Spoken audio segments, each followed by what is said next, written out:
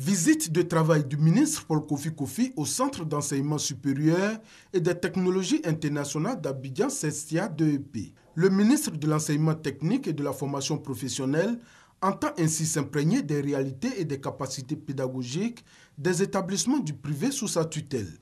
Au groupe Cestia, le ministre s'est réjoui de voir une grande école modèle dotée d'un équipement de pointe pour une formation de qualité.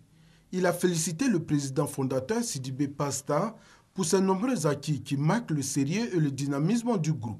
Je suis émerveillé parce que euh, je constate que cet établissement a tout un dispositif d'infrastructure euh, de haut niveau qui nous donne la garantie que les enfants sont bien formés.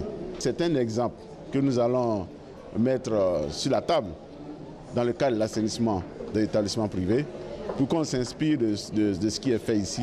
Pour le fondateur, il s'agit de continuer à rester dans l'excellence en s'équipant davantage, en ouvrant de nouvelles filières innovantes. Le ministre nous a fait voir son projet d'assainissement des écoles. Cela voudrait dire qu'il appartient à chaque fondateur de mettre tout en œuvre, de mettre un cadre de vie à la disposition des enfants, mettre la pédagogie comme le train de l'émergence dans la formation et l'éducation des enfants. Le ministre Paul Kofi Kofi est reparti satisfait. Il entend poursuivre ses visites dans d'autres écoles privées en vue d'assainir le secteur de l'enseignement technique et de la formation professionnelle.